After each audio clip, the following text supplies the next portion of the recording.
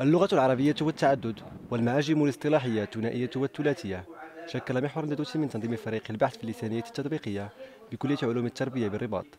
لتسليط الضوء على المصطلح العربي ودوره في إغناء اللغة ومحتواها وإشكالاته المرتبطة بالترجمة ونقل التكنولوجيا إضافة إلى المصطلح الوافد وضوابط البناء.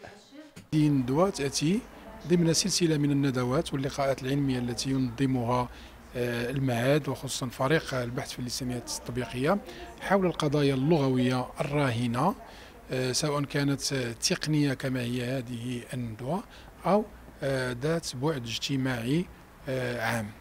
وهذه الندوة تتمحور أساسا حول مسألة المصطلح والمشاكل التي يثيرها عندما نكون في فضاء متعدد. آه، وبالتالي كان هذه الجلسات التي آه، تكون الندوة هي ست جلسات حول المصطلح العربي وإشكالاته من وضع وترجمة وتعريب إلى آخره.